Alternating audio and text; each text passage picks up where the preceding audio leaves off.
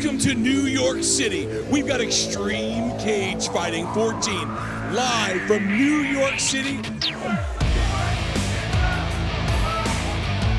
Throws that left to the body and gets it caught. Oh, there it is. Head kick It's knockout. over. Knockout of the night so far. Head kick knockout by Dustin Trinidad in the first. He delivers and puts on a show for the fans. Unbelievable knockout.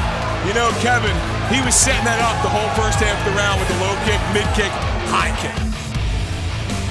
Oh! Oh, Kevin! Kevin is the knockout of the night. Oh, boy, Kevin.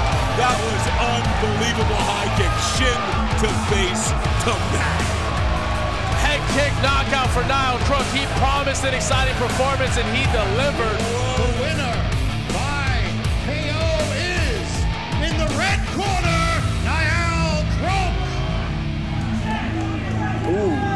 good, good left to bite. That right landed. Oh, he's out.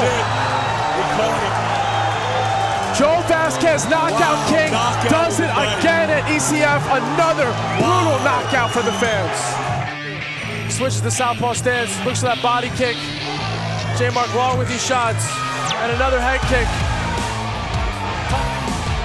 Tog's hurt right now. The ref should stop this fight. It's over. It's all over, Kevin.